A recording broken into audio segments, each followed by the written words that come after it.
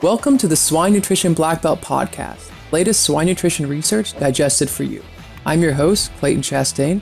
Today we have with us Dr. Tsung Cheng Tsai, Research Associate at the University of Arkansas. So, Tsung Cheng, you were on the podcast about a year and a half ago, so it's been a little bit. Um, so, just as a refresher before we get started, would you mind giving the audience a brief introduction about yourself? Yeah, it's a great honor to be back here again. I enjoyed so much last time. And uh, so, to give uh, a little bit my background, is that I uh, I originally from Taiwan, and I uh, went to the University of Georgia for my master and uh, PhD under Dr. Mike Azain, and then later on I start I decided to uh, join the group at the University of Arkansas. So our original I was trained as the traditional uh, swine nutritionist, and I have a uh, chance to explore the uh, into the immunology and the microbiology when I joined the team at here in Arkansas. So our uh, the major interest of our lab are finding the key factors associated with the pig's health and identify the strategy to promote their health status in different production stage. And that's still uh, we're still working on it, and I think everybody that's a common interest for uh, the, all the uh, scientists uh, in the world. So. Want to improve feed biosecurity?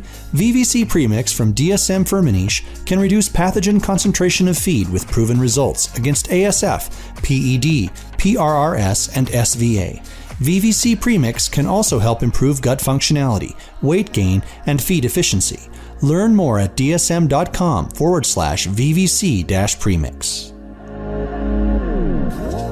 Gotcha. So at Arkansas, I see you've been doing some work on uh, nutrient intervention during gilt development and seeing how um, that affects some reproductive performance um, sows in terms of longevity as well. So, would you mind sharing a little bit about that work?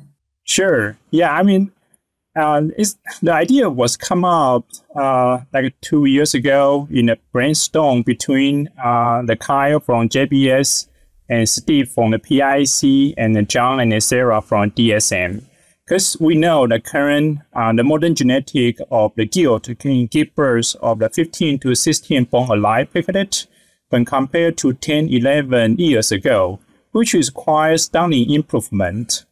However, this improvement coincided with the uh, reduction on the cell longevity. So uh, in order to uh, test this, so uh, we use the two, uh, we going after the two different strategies in this trial. And the first strategy uh, we used was uh, the reduce the uh, nutrient level during the development period uh, to slow the growth rate of the gilt. This concept originated from the dairy. So researchers found in the dairy study, uh, if they slow the growth rate of the dairy during the development period, uh, return a high milk yield.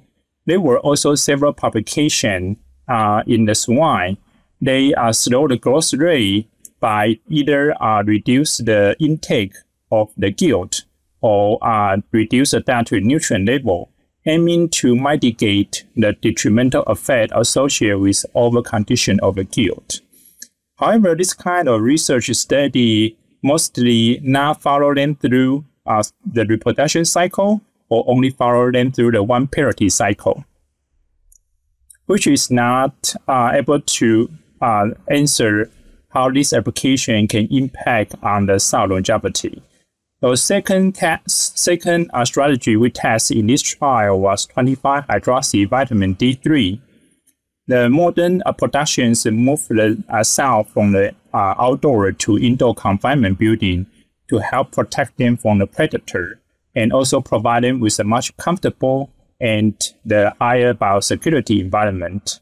At the same time, it limited the cell's opportunity to exposing to the sunlight, which is a key step to activate the vitamin D. And this limitation can impair uh, the biological function that's associated with active form of vitamin D. So to test these two strategies, uh, we are using the three group of the gilt, with replacement gilt introduced as needed at the end of each parity cycle. Gill were received at nine weeks of age. and they were allotted to one or four dietary treatments. So uh, the, there were two uh, treatment including two levels of dietary nutrient, either uh, adequate nutrient diet or the low nutrient diet. And each level of the nutrient diet combined with one of the two types of the vitamin D. So low, the low nutrient diet in this study was prepared by replacing corn soybean meal with famotidine and the DDGS. Standard D diet was formulated to contain 1653 IU per kilogram of vitamin D, while high D diet was prepared, uh, was formulated with the 50 mcg per kilogram of the 25 hydroxy vitamin D3 plus 500 IU uh, per kilogram of the vitamin D3. So dietary nutrient level treatments were only improvement during the uh, the gestation period, uh, the uh, the development period, which was nine weeks of age to 26 of age. Once gills move to uh, the gestation barn, they will provide with a nutrient adequate gestation diet. While gill, they remain on their vitamin D treatment diet throughout the full parity cycle. And we did not do the non-intention call in this trial, which means only those gill or sow they were incapable of continuing the reproduction cycle were removed from this trial. So for the result, we found the gill fed with a low nutrient diet, uh, they were great at 320 pound of average body weight, which was 11 pound lighter than the gill with the nutrient adequate diet. Moreover, fed with low nutrient diet, they have a similar or comparable uh, farrowing rate and conception rate when compared to the gill with the uh, adequate nutrient uh, diet. Interestingly, uh, slowing the growth rate during the de- development period prompt their ability to restore their body condition in parity 3 and uh, in parity 2 and 3 uh, better than those uh, gill fed with the uh, adequate nutrient diet, which allow them to extend their uh, survivability. And because of that, fed with the low nutrient diet uh, produce uh, 30 more liters and uh, with the 380 more bone alive piglet after the full parity cycle. However, there was a concern uh, that the, on the progeny's post-weaning performance in a field trial, uh, which could be due to uh, the fact that the gill fed with the low nutrient diet did have a relatively larger percentage of the uh, low quality pig. As for the 25 hydroxy vitamin D3, uh, the number of the gilt not called because of the structural issue were all from the standard D dietary treatments. And it's warrant a larger scale of the commercial trial to validate this finding since we only use 320 uh, sow in total for this trial. And we also found that uh, the uh, South uh, with the high D treatment had a higher plasma 25 hydroxy vitamin D3 at the uh, breeding, 110 day of gestation, and, and weaning. However, we, did, we defined that the gill with the standard diet treatment in this study had a relatively higher concentration of the 25 hydroxy vitamin D3 in the plasma when compared to a report uh, in a uh, Danish indoor housing herd, which can explain which might be able to explain the inconsistent response on the reproductive performance. And uh, the I think the one possible reason of the higher concentration of the plasma 25 hydroxy vitamin D3 from the uh, standard dietary treatment is because our uh, sub facility has a drop side curtain designed for air ventilation. That means uh, those gill or cell they have opportunity to expose into the sunlight when ambient temperature reach above 68 degree Fahrenheit. So despite the lack of the effect on reproduction performance between uh, the two type of vitamin D, the maternal 25 hydroxy vitamin D3 uh, did have the uh, benefit on the uh, progeny's performance. So we secured a group of the and we found that the progeny from the sow fed with the uh, 25 hydroxy vitamin D3, they ended with a 4 kilogram heavier final body weight at the end of the finisher. And they also had uh, a greater carcass weight and a higher percentage of yield.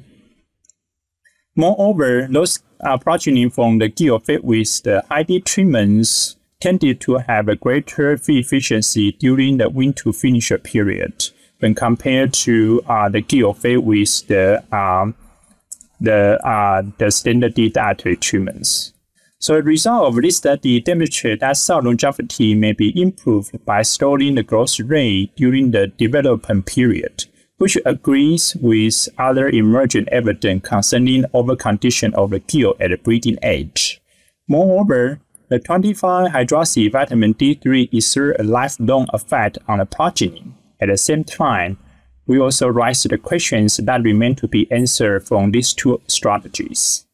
Collectively, the impact of the cell longevity from the nutrition intervention can be traced back as early as during the development period, Therefore, in our opinions, more strategies should be evaluated during this period to optimize the cell's health and the stability.